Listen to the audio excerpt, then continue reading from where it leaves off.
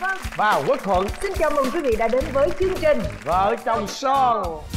Tại lúc em đeo đuổi anh này á anh cứ chặt mình hoài à. Mình không có nghĩ là anh sẽ thích mình cái tính của ảnh. Anh chị cũng thấy á rất là trẻ trâu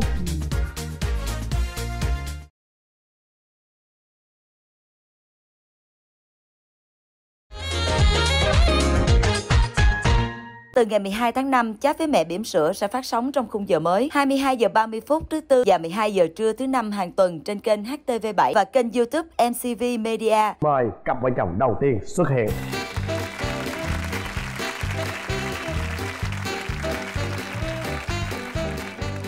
nhìn anh chồng là tôi biết là anh là làm một cái nghề mà có liên quan đến tóc tai đúng không? Dạ không. Bây giờ tôi em đừng làm tì bói nữa. Cái tóc Dạ. này là tóc gọi là tự nhiên của mình hay là cưng đi uh, highlight vậy? dạ tóc tự nhiên. 16 tuổi là tóc đã bạc rồi à à tóc em tóc bạc hả? Tóc bạc. Này không phải bạc mà là muối tiêu chanh. Hồi xưa nó rất là nếu mà từ khi mà có con xong rồi nó còn lên gấp 10 lần. Mời hai em giới thiệu cho mình. Dạ em tên uh, thành thành 38 tuổi ạ. Em ở quận 7 công việc của em là hiện tại đang phụ trợ làm việc với lại là chủ yếu là nội trợ ở nhà. Nội trợ ở Thành nhà. nội trợ cho nên bạc tóc giờ tới vợ của thành. Em tên là Nguyễn Thị Thu Hằng năm nay em 30 tuổi. Hiện tại em làm giám đốc công ty mỹ phẩm. Em, em shipper em là shipper. Ờ, Ông làm chung với vợ như lại chốt đơn. Đó ông ngồi ông còn ông đánh đánh ông chốt chốt đơn. Em uh, livestream của anh này uh, đi ship thôi chứ không được vô bộ phận chốt đơn đâu. Không có cửa đi vô Dạ, đúng rồi, không có cửa vô chốt đơn tội nghiệp nhỏ dễ sợ luôn vậy nó ship. Trời ơi tướng tá như thế này lại là một cái shipper cho vợ. Nhưng mà hạnh phúc đúng không dạ hạnh phúc ạ. Quá hạnh phúc rồi. Và hai đứa gặp nhau sau như nè. cuối năm á thì lúc đó em có việc đi công tác ra ngoài hà nội. Ừ. Năm cách đây mấy năm? Đó em phải nói em nhớ là hình như là 2016 ra hà nội đi công tác thì lúc đó em tới sớm quá. Ra không có cho nhận phòng. Chúng cà phê ngay cái bờ hồ hoàn kiếm á. Ừ. xong cái em mới nhìn đối diện có một cô gái mà người ta gọi nước người ta nói giọng miền nam. Nhá qua kêu em em người miền nam đúng không? Anh cũng người miền nam nè. Cho xin số đi tối rảnh đi nhậu. Anh À, lúc- lúc đầu là- chị lúc đầu là bằng chị lịch sử lịch sử lịch sử chứ dạ đúng dạ không? đầu bằng chị lịch sử cái lúc đó là mắt của em bị cận em không Ờ. có mang kiến Ờ. anh này ảnh ngồi ờ, xa lắm trong Ừ. nguyên một đám gì đó đám con trai á xong rồi đi có anh này ngồi miền nam mà nói chuyện kiểu ờ, hổ báo cáo trồn lắm Ờ. Nó nhìn lóc chóc lôi choi lắm Ờ. người, người ta gọi là trẻ, trẻ trâu á. Ờ. Tự nhiên cái ông kêu chị chị người miền nam hả? Em chuẩn bị đi sapa là chị chơi ở lại đi đi sapa chơi với tụi em không? Ổng lấy mấy ảnh ổng chụp mà em tưởng ổng làm nghề photographer hay là nghệ sĩ gì á chụp bật bật bật bật cho em số đi em gửi ảnh cho chị. Rồi chị có cho không? Cho luôn dạ gì cũng cho. Thấy à, tuổi trẻ mà lại cho số điện thoại luôn. Đó là lần đầu tiên đi Hà Nội. Thấy toàn người Bắc không nghe có người Nam mừng muốn chết Đúng luôn. rồi. Cái tâm lý đó là có nha Ừ. Giống như mình đi nước ngoài vậy đó. Dạ. Mà mình gặp người Việt Nam có tưởng tượng như bà con thân thuộc từ đời vô hùng á. Tiếp tục bữa đó em rất là là, là đi chơi với bạn bè cái ngày hôm đó luôn. Đi chơi là đi nhậu khắp nơi luôn. Ừ. xong đến khoảng tầm sáu bảy giờ chiều về là đang phở. Tự nhiên có cầm điện thoại có một cô gái nhắn là anh ơi ờ, rảnh không? Chút đi nhậu sáng mới luôn là hàng ờ, hà nội đây là sáng sáng mới mới coi. À có cô bé cũng đi nhậu đủ chơi mà thành thiệt ta. Mà đã nhậu rồi đó đúng không? Dạ nếu mà đang nhậu rồi. Ra Đi hàng luôn. ngang chỗ phố tạ hiện á. Ừ. phố giống như phố tây á ra đó ra đó ngồi nhậu luôn. Mà wow. nhậu hai đứa hay là nhậu chung với hai đứa hai đứa rồi chị hai đứa luôn. Dạ. Rồi đêm đó là là nhậu xong rồi khách sạn ai nấy về hay là ở chung với nhau luôn? Không phải bữa đó là đáng lẽ là gì nè. Có nghĩa là khách sạn á là em lại gọi một thằng bạn ở ngoài ở hà nội đó ra ngủ chung cho vui. Ừ. cô này thì cũng vậy gọi một bà bạn. Thì lúc đó đâu có thể đủ người ta về được kỳ lắm. Ừ. không lẽ để ta ngủ mình? Để ta ngủ mình cũng kỳ luôn nên phải về ngủ. Rồi hôm sau thì sáng ngày hôm sau? Thì sao nữa? Sao hốt hàng liền em qua em xí chỗ liền chứ. À. Để dụng mất sao là qua khách sạn ở chung luôn.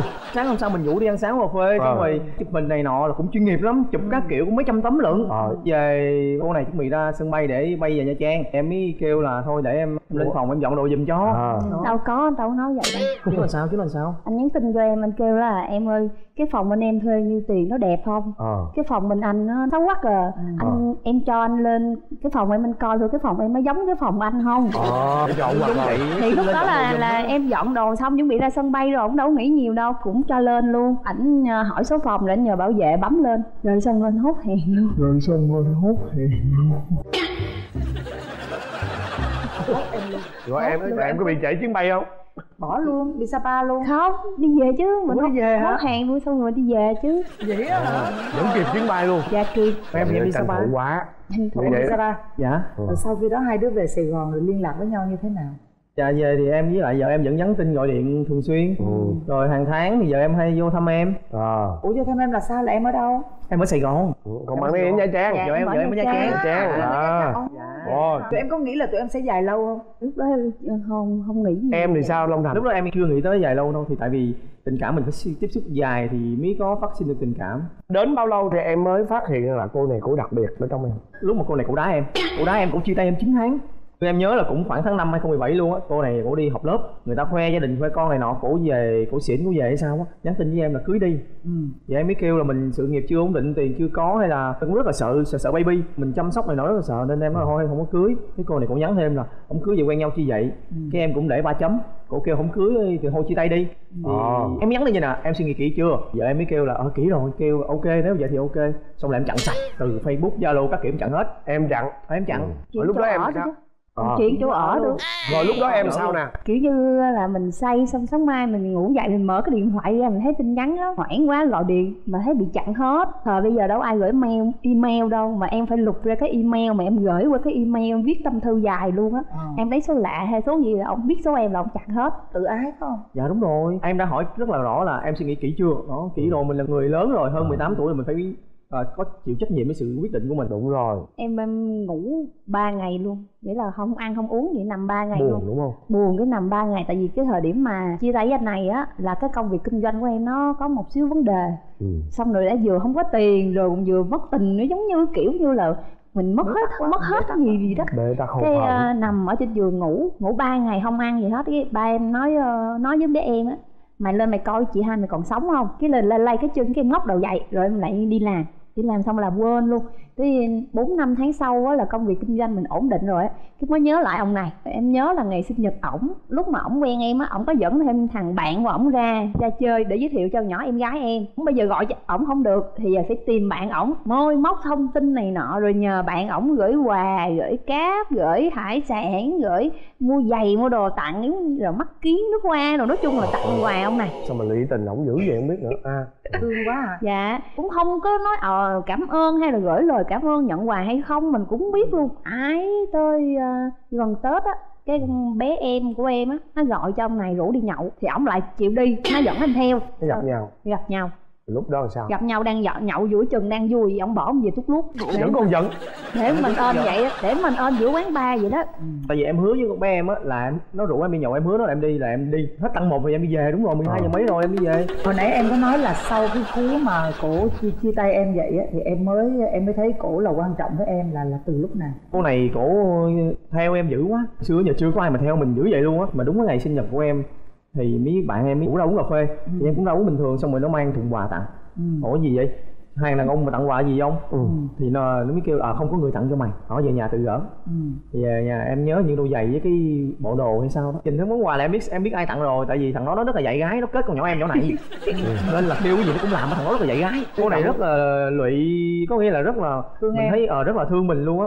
Đương nhiên lúc đó mình cũng có tình cảm với cô này chứ không phải là không. Em nhớ là như tám chín tháng gì đó thì mình thấy như vậy thì mình mới thay đổi thay đổi. Trong tám chín tháng đó em chặn cổ vậy thì em có say nắng cô nào hay là em có một cái mối tình là trong quen chín đó? người luôn trưa đó lại nhắn tin em chứng chia tay là tối đó là ổng đi ăn mừng ổng quen người khác liền luôn mà em biết luôn sao em biết được sau này ổng kể cho Ừ. ừ. quay lại rồi ổng mới kể chứ chia tay rồi đúng không mà lúc đó em cũng có tuổi lúc đó là em 33 34 tuổi rồi Ừ. em phải kiếm một người phụ nữ nào đó lập gia đình ừ.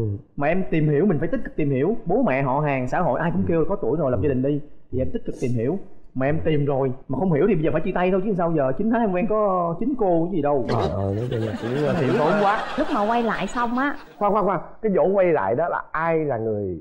Dĩ nhiên là là em là, là dẫn cái thương ảnh rồi. quán bar đó. Sau ai cái là người đề bar. nghị là quay lại? Lúc quen cũng ai đề nghị mà lúc chia tay thì đề nghị nhắn tin xong rồi quay lại cũng tự nhiên vậy. Dạ tự nhiên nó tới Dạ, tự tự, nhiên nhiên vậy à. chị muốn hỏi là sau cái hôm mà đi quán bar mà em bỏ em đi về đó thì sau đó là gặp nhau ở đâu nữa? Có gặp nữa hay không? Hay là như thế nào? Sau đó hình như gặp là cũng ờ, đi ăn đi uống với thằng bạn đó. Thằng bạn nó cũng kết nối. Kết hai vợ chồng kết nối là nhờ thằng đó đó. Một hai lần một nữa. một hai là, lần nữa. ừ. và là và hai đứa quyết định mốc- đi lại với nhau. cột mốc đó là ờ, là là lúc nào? Đợt đó là em với lại bạn của anh này ờ, là có hợp tác làm ăn chung. Xong cũng hay liên hệ liên hệ qua. Ừ. xong rồi anh này ảnh mới nói là sao không làm ăn chung với anh mà làm ăn chung với thằng đó như vậy? Đó nhưng nói ủa anh làm cái gì? Thì ảnh đầu tư rồi giống như là chứng khoán Ừ, ở trên đó ừ. đó. Thì ổng nói đó anh làm cái đó đó có muốn làm chung với anh không? Ông nói là ừ thôi em cũng đang có xíu vốn em gửi anh làm ăn chung. Thấy em bán mỹ phẩm cái ảnh ảnh nói là em bán mỹ phẩm mà sao không bán cho ảnh thì ảnh mới mua cái mỹ phẩm của em về rồi cứ gọi điện ờ, ờ, bữa nay xài sao này xài sao kiểu hốt xong hốt luôn. Và chủ tán tán tán lại cũng bắt đầu chiều chuộng rồi xong chịu. Chứ Ừ. trước đó là lúc nào em cũng kêu là làm đám cưới đi là đưa ra mấy chục cái lý do gì đó có nghĩa là em em cầu hôn ảnh em cầu hôn rất là nhiều lần. Ờ, mà ảnh ổng nói là ảnh không chối. tiền thì em nói là em có tiền. Ảnh nói ảnh đẻ con không không ai chăm thì em nói em chăm. Kêu là mẹ anh khó tính em nói không sao hết có nghĩa là đủ thứ lý do Đủ mà thứ lý do. em đều nói rằng là em sẽ là người gỡ những cái Dạ. lý do đó mà ổng cũng không chịu không, luôn. không chịu luôn. Em cầu hôn ảnh tổng cộng là bao nhiêu lần em còn nhớ không? Cũng mười mấy hai chục lần luôn á. Mà tính không chịu. Tính luôn cái thời điểm mà mà chưa chia tay khúc trước nữa phải hơn hai chục lần. Trời ơi xem cưng chuyên quá gì đó mà ông lý này do gì sao em không chịu. Ờ. tại vì em sợ lập gia đình lắm định vô em thấy có con này nó khổ lắm. Hồi xưa em đi làm chung với mấy anh đó em thấy dụ em biện hộ cái lý do là em quen chín con nhỏ trong 9 tháng Ừ. em nói em muốn lập gia đình. Đúng Thì không? bây giờ em nói là tìm- ba mươi mấy thì, rồi. thì đó là mình mình mình vẫn cứ kiếm mà kiếm người nào mà để mà lập mà không hợp đúng không? Đó, chỉ là quen đúng rồi, chơi thôi đúng vậy không? tại sao nhỏ này nó dây mà là không chịu lấy Ừ, thì sau này mới thấy là vậy là quá hợp luôn đúng đúng. Anh hỏi nhẹ cái thôi. Điều gì khiến em xúc động khi em kể lại cái câu chuyện này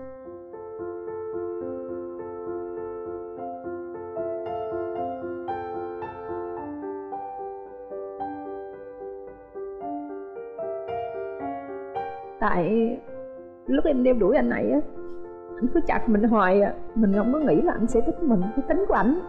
Anh chị cũng thấy á rất là trẻ trâu. Mà em gia đình em thấy gặp anh này á, hầu như là ai cũng không thích cái tính này hết á. Không có làm hầu một mẫu mẫu người chuẩn để mà có thể là là một người người chồng tốt để chăm sóc gia đình. Kiểu như là mình mình cứ theo đuổi như vậy á. Em nghĩ là là anh không có thương mình. Em nghĩ là anh cưới là do em đeo đuổi nhiều quá rồi thôi cưới đại cho vui vậy đó. Chứ thật ra là tụi em cưới về là bắt đầu mới tìm hiểu nhau.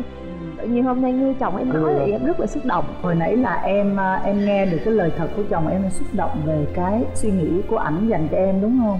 Dạ đó giờ chưa bao giờ anh nói đúng không? Dạ chưa. Hồi đó là bị đánh giá là trẻ trâu. Bây giờ thì còn trẻ trâu không? Bây giờ là em là người cha chuẩn mực rồi. Chồng sẵn sàng nói ờ em là nội trợ. Chăm Dạ, em con trợ. em là nội trợ một Vậy ông bố. Tuyệt vời không? Trời con em là Dạ. đẻ ra là một trăm phần trăm. Thôi em đừng có nói khen em. Không không có phải trời đất không để vợ để vợ nói tôi mới vợ tin. nói nè vợ Đó. nói chồng sao nè. Trước khi cưới còn có rất là nhiều tật xấu. Ví dụ như anh này là ngày xưa là làm việc làm IT á cho nên là làm việc máy tính và làm ban đêm. Ban ngày là sẽ ngủ 4 giờ dậy tắm rửa ăn xong là 6 giờ là ngồi máy tính mới tới 6 giờ sáng ừ. còn em bầu bì là mình muốn làm gì mày làm Ừ. em mới nói là anh ơi em mang bầu vậy không ở trong này em đi vô làm dâu mà ở riêng em đâu có biết đi chợ đi búa gì đâu Ừ. ổng nói chứ lớn là không biết mở điện thoại lên bút rap phút giờ ăn hả thích cái gì Ừ. trên đó có hết nó hụt hẫng lắm em vô đây Ờ. làm dâu thấy hụt hẫng lắm Ờ, tự nhiên đẻ xong y như là hai người khác nhau hình như là thay đổi hoàn toàn thay đổi hoàn toàn luôn. Là bây giờ là 5 giờ đã dậy rồi. Ban đêm là 10 giờ 11 giờ là phải đi ngủ rồi. Cho con bú rồi nấu cơm đi chợ đi ship hàng Ờ. rồi thay tả cho con rồi con bệnh rồi ru bồng nói chung là, là một em mình thành hết. Dạ mình anh thành hết. Em không làm gì hết trơn. Em chỉ gái có cơ? Dạ con gái. Ồ. anh muốn hỏi thành điều gì khiến cho em thay đổi như vậy? Chắc là em nghĩ là đó là tình tình cảm và tình yêu của người chồng với người cha à. chứ em cũng không nghĩ em không, em không có lý do gì để thay đổi luôn á. Bạn này bị lỗi dòng nè lỗi à, ngược dòng lỗi ổng nhậu là ổng nhậu vô ba ly ờ, là bắt đầu là đàn ông đàn đàn, đàn an ngồi bên cạnh là ổng nhào vô ổng hung. Ông chậu chứ không ổng tre đúng không ổng la ổng hét là ổng ngủ ngáy. Giờ là không nhậu luôn. Một tháng sợ ổng bị stress á. Cứ kêu là thôi anh mời bạn đi nhậu đi cái ổng nói không ở nhà với con. Em cứ nhắc ông đi đuổi ông đi nhậu hoài ổng kêu chứ bây giờ đâu ai thèm nhậu với tôi nữa đâu. Tại mất bạn chứ không có đủ hoài không đi nó mất khách bạn như hồi tối đây nè trước khi lên chương trình á là em nằm ở nhà thì ảnh mới nói là thôi cho anh đi uống cà phê với bạn. Cái nói ừ đi, đi, đi. Taxi xuống tới vừa bấm xe xong thấy lại DT lên cởi đồ nó ủa sao không đi? Thôi ở nhà chứ làm biến ở nhà chơi với con. Nó nhớ không con không đúng đi được. xíu là nhớ ôi đúng anh không? bất ngờ em đúng không? Quá long thành. Cái đứa gái nó giống em hay giống vợ? Vậy lúc em à? Giọng ổng. Ố trời ơi bởi vậy thì các ông đi đâu ông chắc không- luôn. không giống Ừ. ổng biết chắc luôn á. Người ta nói đúng lắm em giống như cái đứa gái á nó là cái người tình kiếp trước của ba nó. Rồi khi em thương con em rồi thì em mới cảm thấy rằng là em quá thương vợ em có lỗi với vợ nhiều hồi đó. Tức là từ cái đứa con nó làm cái cầu nối cho hai đứa. Em có thấy là nuối tiếc khi mà trước đây mình lại sợ lại sợ có baby chứ? Bây giờ cứ thấy không? Không bây giờ thì em biết cũng nếu mà vậy em sẽ lấy vợ sớm hơn 10 năm. Đó thì bao giờ anh mới nói? Chỉ có một ờ, bé thôi hay là hai? Dạ dạ. Bây giờ đang em đang ờ, năn nỉ đẻ thêm đứa nữa. Năng này mà cái gì cũng chủ động như vậy. thường là là vợ chồng em ngại mà kêu mày tao lắm nha không? Ờ. cùng lắm là tức cãi lộn thì kêu ông với tôi thôi bà với tôi thôi. Nhưng mà mỗi lần mà em nói anh thôi đẻ thêm đứa nữa lỡ rồi em lấy lại dáng luôn lần. Quay mặt mày điên hả hàng? Mày muốn tao nghỉ lầu ở phát tao chưa đủ bạc hả hàng. Cũng nói em vậy lắm. Đứa nữa là chắc em giống anh luôn á.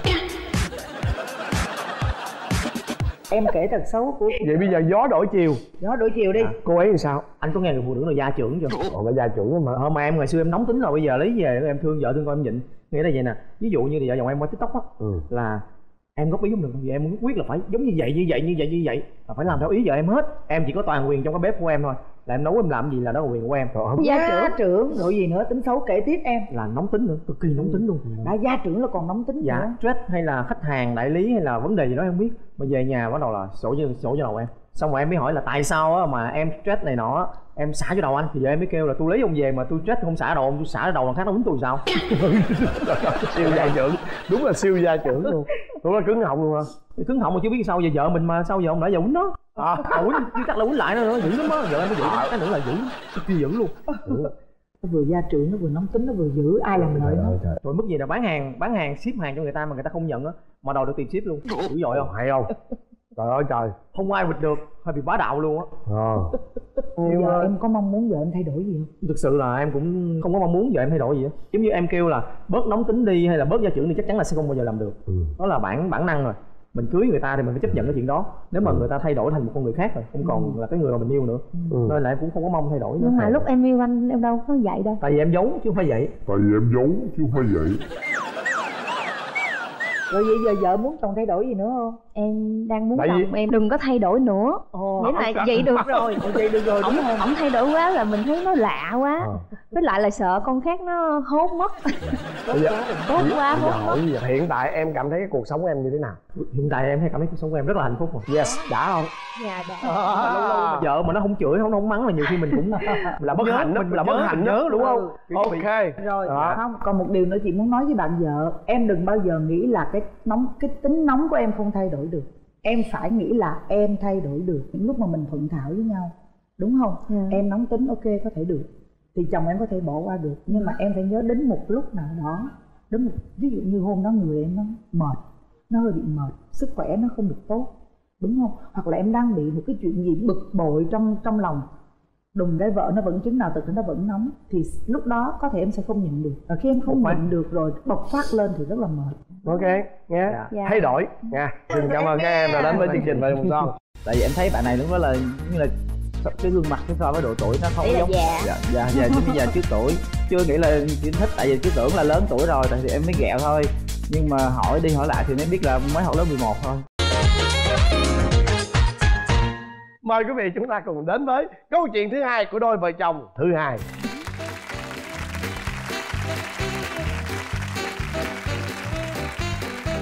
Thôi đi cưng đó rồi mời hai em giới thiệu về mình. Dạ em là tên là võ công thành 31 tuổi. mà một tuổi làm công việc gì em? Dạ em là quản lý của một ờ, nhà máy xí nghiệp ở Nhân à em đang ở nhân đâu? dạ. Nhân trạch. Ồ. em đang ở nhân trạch luôn. Dạ em em ở Long Thành. À rồi mời em. Dạ, chào chị Hồng Vân, chào anh Quốc Thần Em tên là Trúc Đào, tên đầy đủ là Đinh Lê Nhật Trúc Đào. Ừ. Năm nay 26 tuổi, hiện là à, nhân viên của ngân hàng. Dạ, đang sống ở Long Thành, còn làm việc ở Nhân Trạch, cũng gần công ty ảnh luôn. À hai đứa chắc đó. chắn ngày xưa mẹ em là thích cái bài mà ngọn trúc đào. Ngày xưa có ngọn trúc đào mùa thu la rụng bay vào bay ra. Cái tên em là bà bà Tư Đạt Nhưng mà thì à, chắc bà tư thích. Bà tư. Rồi bây giờ trúc đào với à, thành hai em lần đầu tiên là gặp nhau như thế nào? Tình yêu của các em nó nảy nở ra sao nè? Năm đó thì là em là cuối lớp 11 là khoảng năm 2012 á. Em đi đánh bóng chuyền cái sân bóng chuyền đó là gần nhà em luôn. Chiều là đi học về là sẽ lên đó đánh bóng chuyền. Ừ. còn anh này thì thời gian đó thì đang là ra trường rồi thì đi làm cho biên hòa á.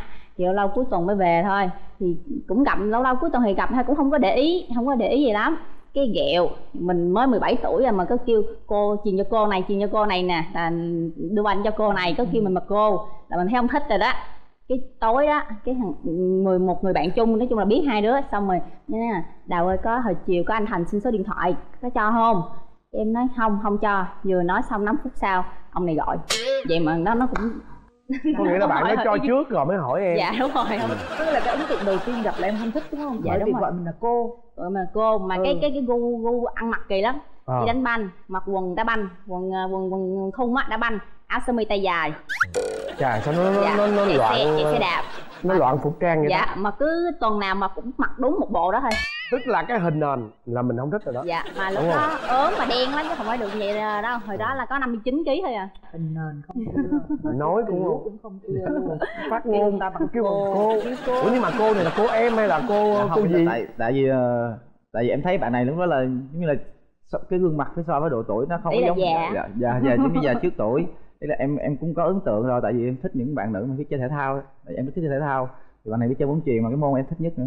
Và sau đó là có bao lâu thì mới coi như là Dạ, lúc đó em gỡ thường xuyên? ý là lúc đó em cũng chưa nghĩ là chỉ thích tại vì cái tưởng là lớn tuổi rồi tại thì em mới ghẹo thôi.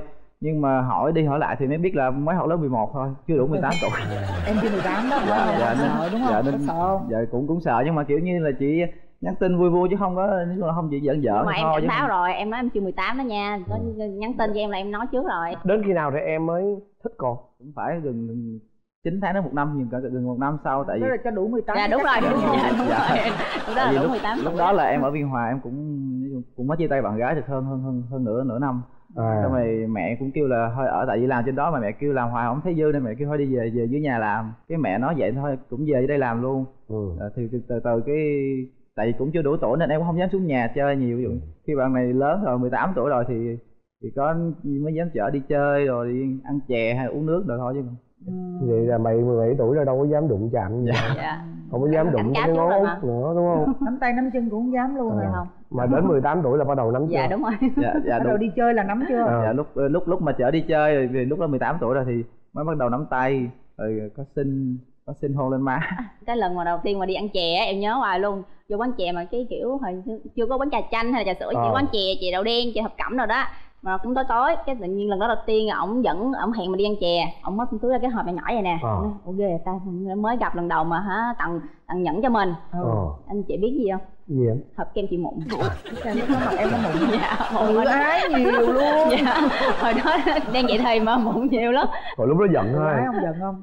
Mà cũng mắc cười thì cũng cũng cũng kiểu kiểu bị hụt hẫng á. Mà cũng mắc cười kiểu cũng quan tâm mình nghĩ vậy thôi. Rồi có đem về tha không? Dạ có chứ. Tha có hết bụng không?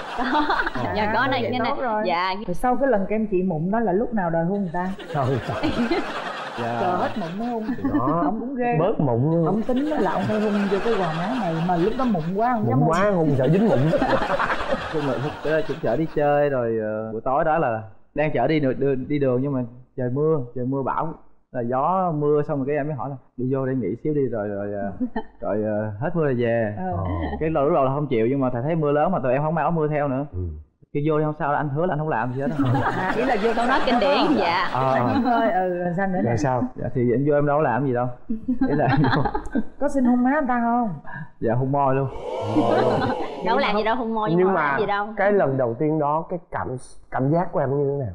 Không biết vậy em còn nhớ nhưng mà em nhớ là vậy rất là run rất là sợ sợ tại vì lúc kia em nắm tay là em đã đã run rồi. Dạ còn lúc đó hung kiểu bị chích điện vậy á, kiểu lân lân lân dạ khó tả lắm.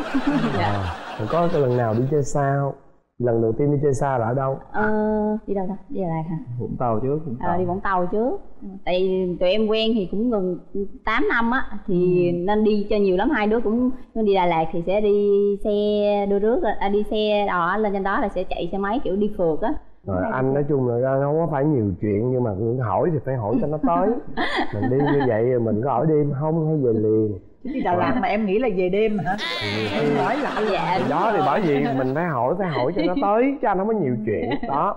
Ý là đi lên Đà Lạt để giống như là mình khẳng định là mọi người hay khi đi Đà Lạt là sẽ xong rồi về sẽ chia tay. Dạ. Nên tụi em muốn đi thử coi có có như vậy không? lời quyền luôn á là kh- không có như vậy nhưng mà em mỗi lần đi Đà Lạt là em có tưởng tượng không giờ em quên rồi đi đi sáu lần sáu đi sáu lần thì hết năm lần là đi Dạ. chưa kịp hái dâu là rụng dâu rồi à đó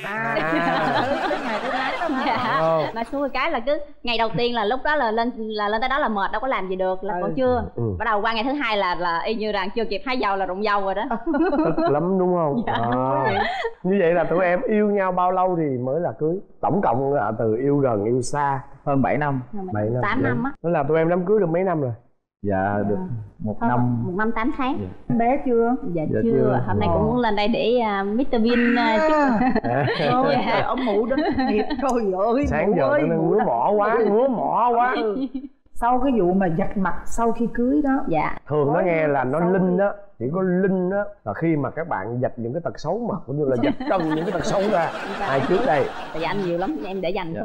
anh dạ, nhiều em lắm thì ờ, là cũng hay ờ, cầm ràm với lại làm bèm. Em thì thường em đi làm về thì em sẽ không không vào tắm liền hoặc là em sẽ đợi đến 10 20 20 phút em ngồi em bấm tivi em coi hoặc là coi điện thoại.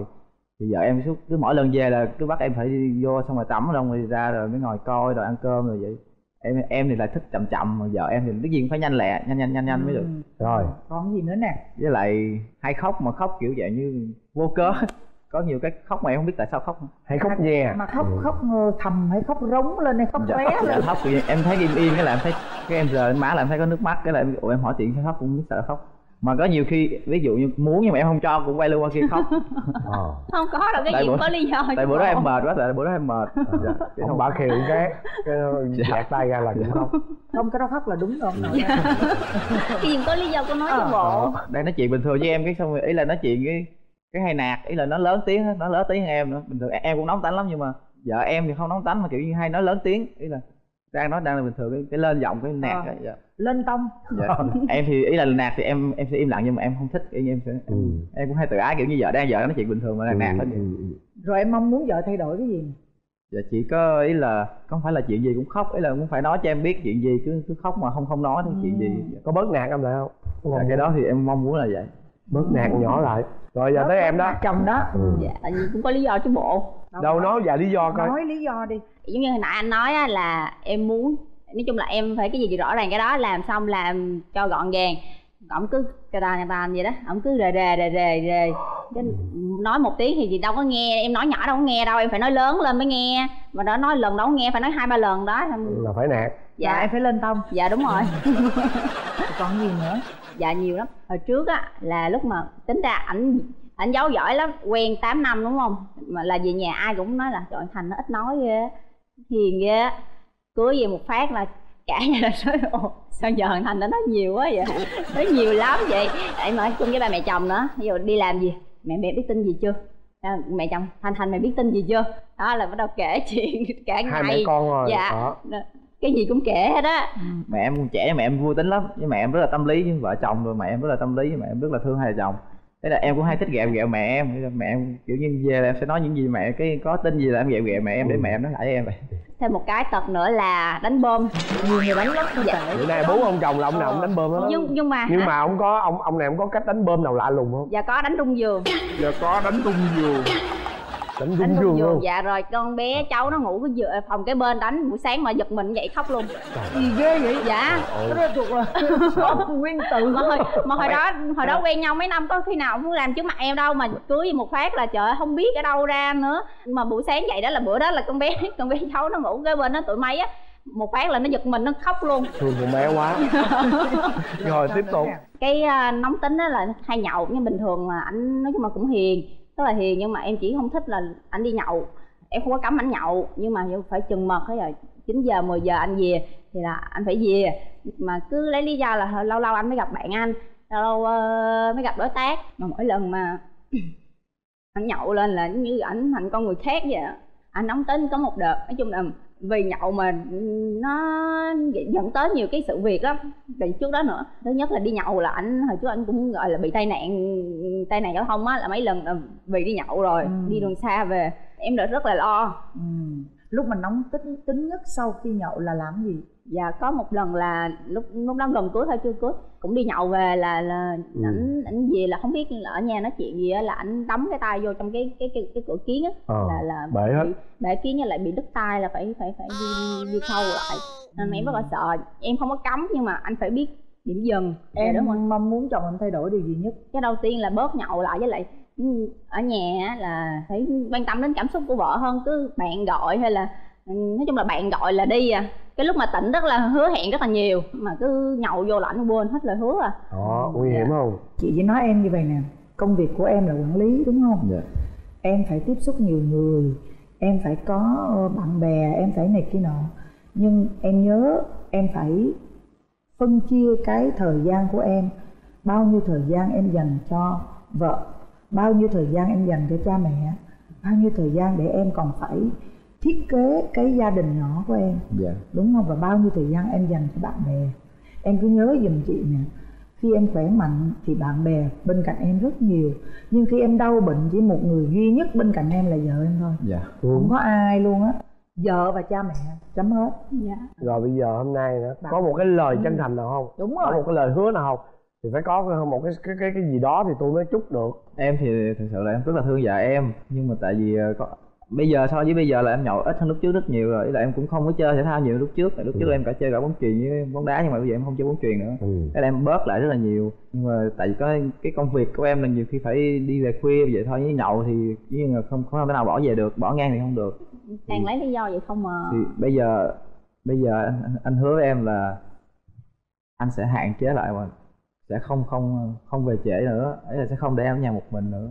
Hay quá. Đúng rồi có gì được rồi. Em cũng rất là hạnh phúc khi khi thấy lấy được vợ em nắm cái tay vợ nói vài câu gì nữa đi. Anh rất là thương em anh rất là yêu em. Anh cảm nhận được là không có ai mà tốt như em hết. Không ai mà thương em giống như anh thương em bằng anh hết. Thế là nó sẽ có những cái như vậy thì anh sẽ sẽ cố gắng cố gắng khắc phục lại. Anh sẽ sẽ hạn chế lại những cái đó. Anh tin là thành sẽ thực hiện được cái điều mà thành hứa tôi hồi hộp quá mụ à, mụ, mụ hãy nắm tay tiếp tục nữa đi. Nắm đi để mụ em có thấy không? nha. thôi chúc cho hai vợ chồng thành đào ha. Sau ngày hôm nay hai đứa sẽ yêu thương nhiều hơn nữa Dạ. với một cái sự thay đổi một cái lời hứa của thành. Và đặc biệt là trong năm nay bác sĩ sẽ báo có tin vui và chúc cho hai em qua năm sau chào đón một thiên thần tuyệt vời đến với hai vợ chồng em. Dạ cảm ơn chị. Nha chị dạ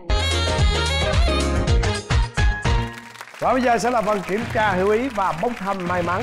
Chúng ta có những phần quà như sau. Trước tiên đó chính là trọn bộ Somo Jurica Nhật Bản với năm màu sắc trẻ trung phù hợp với mọi cá tính đến từ Love Shopping. Và món quà thứ hai đó chính là bộ sản phẩm We Will Cool bao gồm hai thùng nước uống thuần thảo dược giúp thanh nhiệt, hỗ trợ thải độc gan, tốt cho sức khỏe. Và món quà thứ ba đó là một miếng cước chiều nồi kèm theo một cặp vé xem kịch tại sân khấu Chị Hồng Vân. Và món quà thứ tư đó chính là bộ quà tặng đến từ nhãn hàng Lavina Food sản phẩm nước dinh dưỡng tế bào mía Mitazi Nước dinh dưỡng tế bào mía Mitazi được chiết xuất từ những cây mía tươi ngon ở vùng Lam Sơn, sản xuất theo công nghệ hiện đại của Đức, chứa nhiều loại axit amin và các dưỡng chất cần thiết cho cơ thể, đặc biệt là hợp chất octacosanol tự nhiên, mang lại tinh thần thoải mái và vui khỏe mỗi ngày. Rồi, còn bây giờ thì mình đến phần kiểm tra hiểu ý mời các bạn đâu lưng lại Đâu lưng lại. nghe kỹ câu hỏi của tôi nè thói quen mỗi sáng thức dậy của vợ bạn là gì Em em thói quen của vợ mình nghe chứ không phải của mình nghe. mỗi sáng của vợ mình là gì? Này ghi đi ghi đi để lên để lên. của vợ thôi nha của mình nha. Thói quen thức dậy vợ mình mỗi sáng. Đó là gì? Rồi mời hai vợ chồng thành đào. Và còn viết chữ ha. Mở ra. Thành đào đi tắm tắt báo thức. À đúng rồi. Này đúng luôn nè đúng học luôn nè rồi. Rồi thành hằng. Cầm điện thoại. Đây đây quay qua nè. Cầm điện thoại. U trời. Không biết có nhắc tuồng không là sao? Thật sự vì chính xác không biết nữa. Thôi nhưng mà dù như thế nào nữa thì à, bên này rất là hiểu ý. À. Rất là biết coi như là vợ mình mỗi buổi sáng thức dậy này làm gì. Và bây giờ với kết quả cầm điện thoại thì hai vợ chồng thành hằng sẽ được ưu tiên chọn một trong bốn thùng này màu vàng đứng yên đó thành đào màu gì Đúng không. Rồi xong. Của ai nấy hưởng tôi bỏ điểm. màu đỏ phải không? Rồi tôi màu xanh. Rồi lên. Anh này đi lên đi. Rồi. Khoan mở nha. Khoan mở. Thấy chưa? Thấp tóc lắm nè thấp tóc lắm nè. Đó. Rồi. Bây giờ thuận và chị vân sẽ mở trước nha. Mời chị vân. Mở. And wow. Cũng đang xài đây. Rồi chúc mừng chị. Xài nhưng mà nếu mà có dư thì đứa em về em tặng cho vợ em. Nha. Chúc mừng chị đã tặng đã nhận được một bộ son môi Yurika của Nhật Bản đến từ Love Cutting. Và bây giờ mời hai cặp vợ chồng chuẩn bị. Mở nào. Hai ba khui. And and chúc mừng hai vợ chồng Thanh Đào đã nhận được một cặp vé xem kịch tại sân khấu Hồng Vân và nhận được món quà đó là miếng cước vui nồi oh. chúc mừng hai vợ chồng Thành và Hằng đã nhận được một phần quà đến từ We Welcome đó chính là hai thùng sản phẩm à, nước uống thuần thảo dược giúp thanh nhiệt hỗ trợ thải độc gan tốt cho sức khỏe Thưa quý vị, đến đây thì thời lượng phát sóng dành cho chương trình Vợ chồng son đã hết. Cảm ơn quý vị đã đồng hành cùng với chương trình Vợ chồng son. chúng ta sẽ gặp lại nhau vào tối chủ nhật hàng tuần lúc 22 giờ trên kênh HTV7 với chương trình Vợ chồng son.